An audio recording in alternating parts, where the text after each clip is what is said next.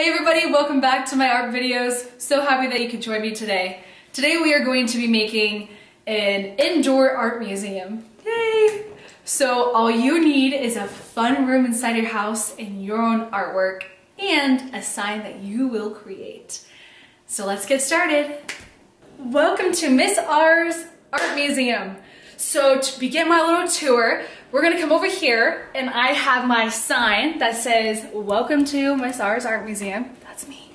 And then below I have my title of my museum called Then and Now. The reason why I decided to do this was because I have abundance, abundance of abundance of artwork from when I was four, and here's an example of when I was four painting. This is an example right next to it of one that I have recently um, done a little bit ago, probably a couple months ago.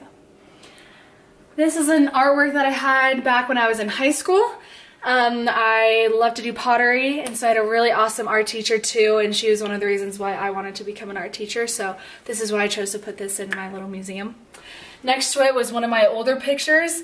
I honestly didn't really like it that much when I was younger, but I like it now because I can see where my art has changed and where I've improved. I put this here because you know what, everyone, we need to brush our teeth. So I have this as a reminder in my bathroom to brush my teeth every morning.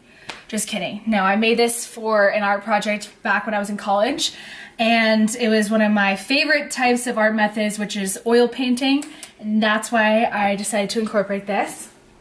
Coming along over here, I have my awesome brother Kyle back when he was younger. This artwork is important to me because I actually won the Congressman's Award with this artwork, so I chose to hang it up. Um, fun little fact, I got my brother to make this face because I squirted him with a, a little water bottle and he went like, Oof. so. One of my very first uh, abstract paintings, as you can tell when you come over here that I like to paint pictures of people and draw pictures of people and portraits and try to make them look realistic. This is my fun celebrity wall. So up here, can anyone guess who this is? Yes, that's Captain Jack Sparrow.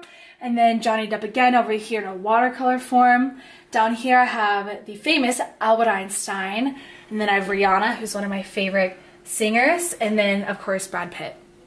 Coming around over here, we're going to conclude this little art tour with my last two paintings that I've done in college. The paintings are very important to me because as you can tell from the beginning of the video, I started out with more of like realistic paintings and techniques and have changed my style to bigger and brighter and more abstract. So in this one, you can still see I incorporated the face. Overall, the biggest thing that I want you guys to take away from this is that you're having fun, you're gathering your artwork, and after you put your artwork everywhere, you one have a title to your museum. You also have a welcome sign to your museum.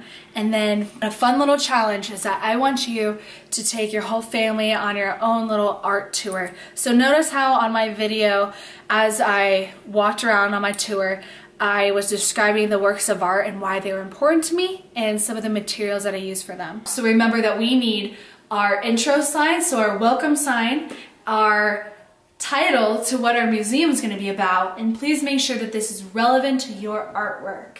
Now the last thing, all we need is our wonderful art creations that we've made over time.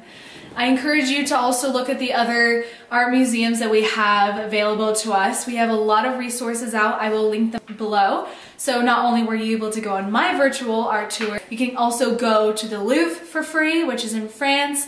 You can go to the Denver Art Museum for free, the Gregory Allicar Museum for free, which is up in Fort Collins, and I will I'll make sure I link all those below. So I'm super excited that you were able to see my museum tour, and can't wait to see you next time.